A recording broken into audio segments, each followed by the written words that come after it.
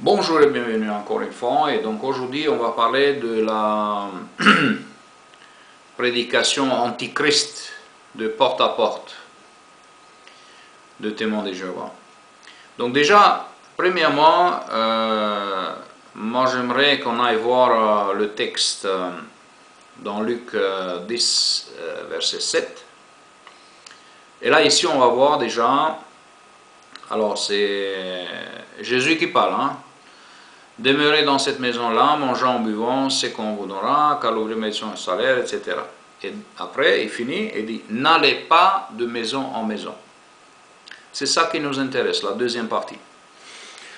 Pourquoi ça nous intéresse?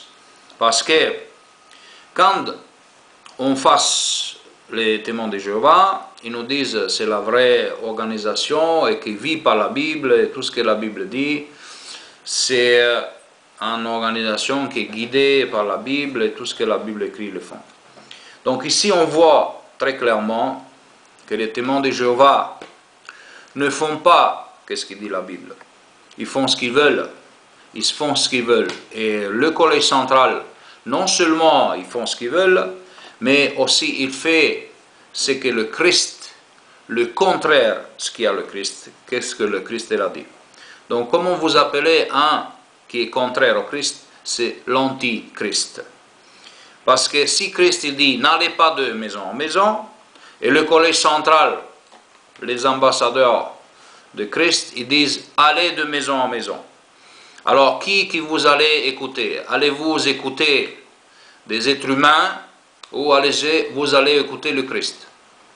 C'est bien sûr à vous de choisir. Moi par exemple, je ne vais jamais choisir cette organisation. Je l'ai choisi parce que je ne savais pas. Aujourd'hui, on le sait. Aujourd'hui, on sait que le Christ a interdit d'aller de maison en maison. Elle a dit, n'allez pas de maison en maison.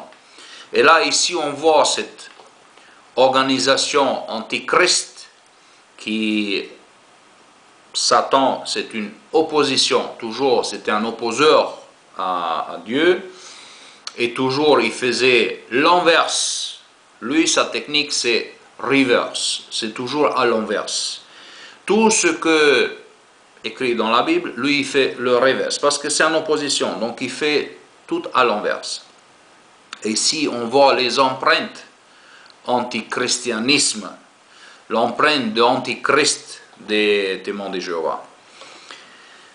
Et euh, ça me plaît beaucoup ce texte, mais euh, aussi, on voit ici, si on va plus loin, parce qu'aujourd'hui, les témoins de Jéhovah, ils vont de porte à porte, donc chose que le Christ il a interdit, il a dit n'allez pas de maison en maison, je le répète et je vais le répéter encore une fois. Mais, encore, il va plus loin que ça. Le Matthieu 10, 10, donc je ne sais pas si je dis le texte, c'est Luc 10, verset 7. Alors ici, dans Matthieu 10 et 10, on lit, Louis II, il dit, ni sac pour le voyage, ni de tunique, ni suyer, ni bâton, car l'ouvrier mérite sa nourriture. Donc il dit, ni sac pour le voyage. Jésus non seulement, ici aussi, c'est lui qui parle, hein, c'est dans Matthieu 10, hein, alors Jésus non seulement a interdit d'aller en maison en maison, il a dit n'allez pas de maison en maison, mais il a dit ne prenez pas ni sac pour le voyage. Et quand vous allez voir ces deux, deux choses-là, quand vous allez voir les témoins de Jéhovah, qu'est-ce que vous allez voir? Vous allez voir les sacs et maison en maison. Donc ils vont faire deux fois dans un coup quand ils vont déjà en prédication, ne tenant pas compte que Paul il a dit ne soyez pas tous des ministres, ne soyez pas tous C'est tout, sur la ligne ils sont, ils sont plusieurs choses à la même chose, à la même temps, en même temps ils rompent plusieurs choses, ils font plusieurs choses à la même temps. Donc ici, c'est ça que je voulais vous faire attention, parce que les témoins de Jéhovah, ils ne comprennent pas. Même si c'est marqué dans la Bible, ils ne comprennent pas parce que leur cerveau ne fonctionne plus. Le cerveau ne fonctionne plus comme chez les gens normaux parce qu'ils sont indoctrinés. Ils n'ont pas droit de réfléchir.